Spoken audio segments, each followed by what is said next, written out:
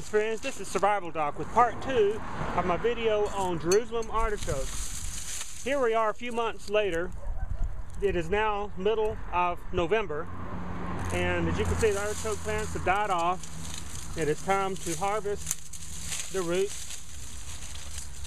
All you have to do is just dig up or pull up the plants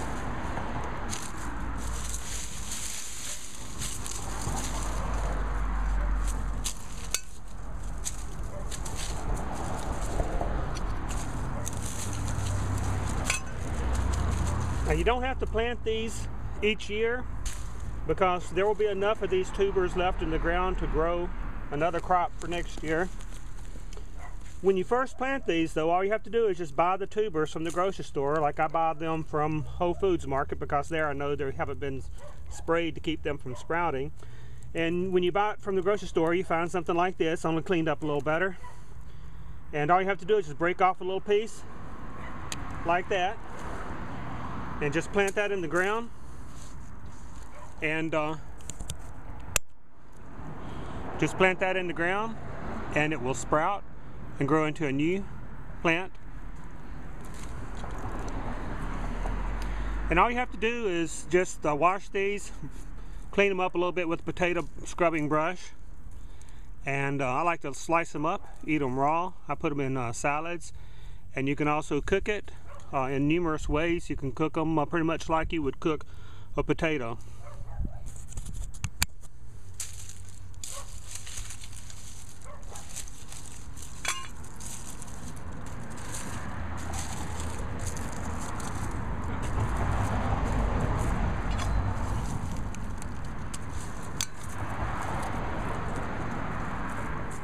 See, there are numerous little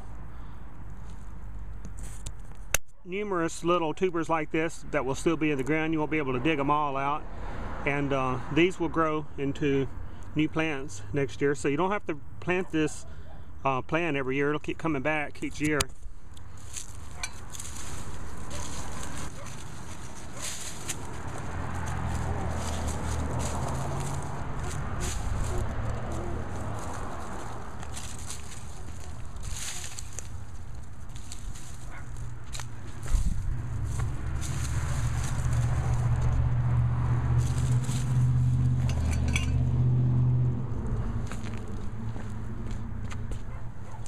This is just a small part of what I have in the ground here. We have more than we could use.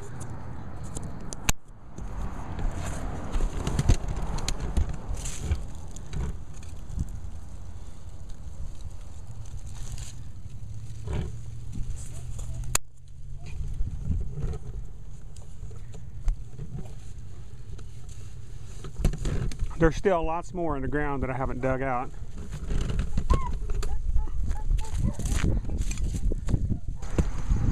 Over here, I have the Jerusalem artichokes that I planted in a flower pot.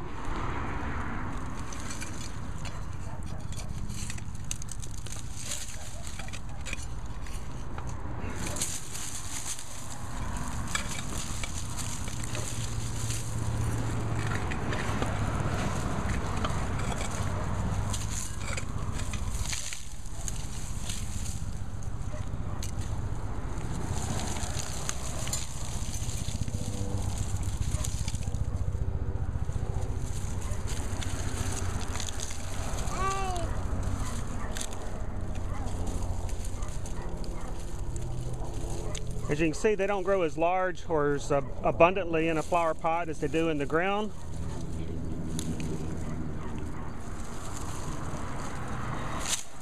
But for those li living in an apartment, you can still grow plenty of Jerusalem artichokes on your porch or patio.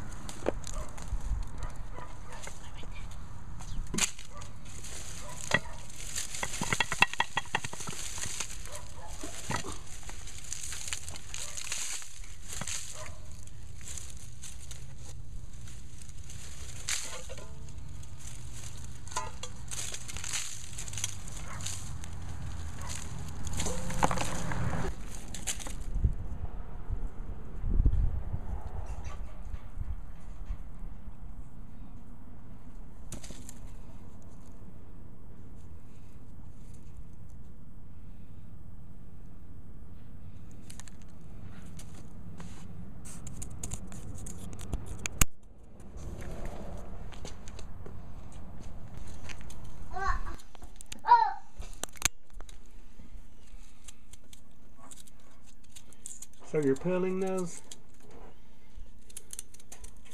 Is that what your recipe says to do? Peel them? Of course.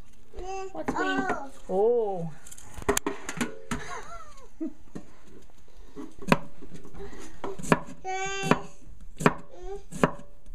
Sunchokes, potatoes.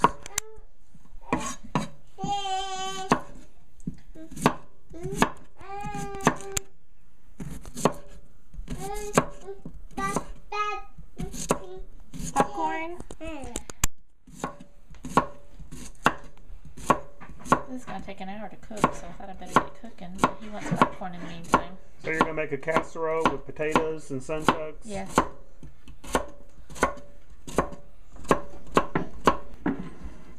Okay, we oil the pan here.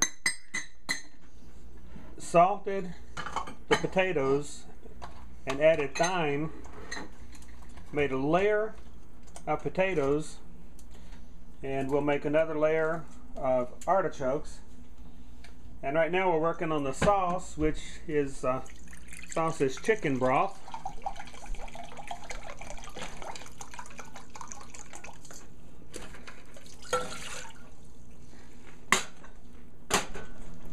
Okay, for the sauce, to the chicken broth, you add a cup of whipping cream. Just cream.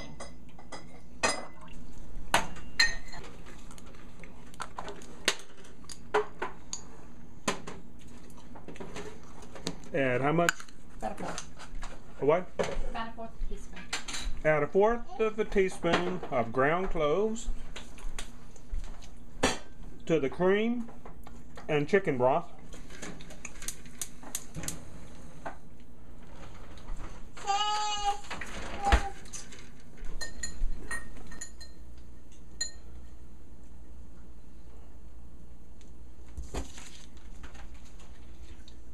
Put half of the sunchokes on the potatoes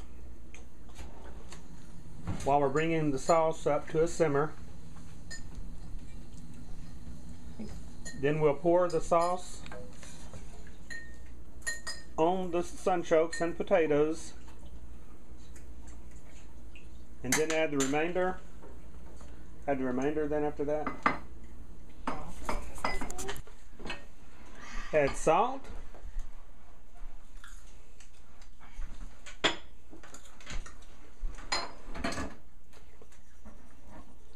A little thyme. You're gonna have this on the floor.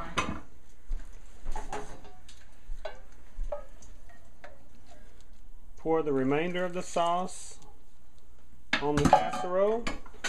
With cream. What is that, cream? Just top with cream. Top with cream. This is just plain cream. Yeah, it was mixed with chicken's broth. Bake in the oven. Hold on a minute. 20 minutes, then reduce the heat to 400. It's on 500 right now. All right. Preheat the oven to 500 degrees. Bake uncovered for 20 minutes. Then reduce the heat to 400 degrees Fahrenheit and cook for 35 minutes or until fork tender. Rest at room temperature before serving. I don't know if I want to cut I'm going to scoop it, so hold that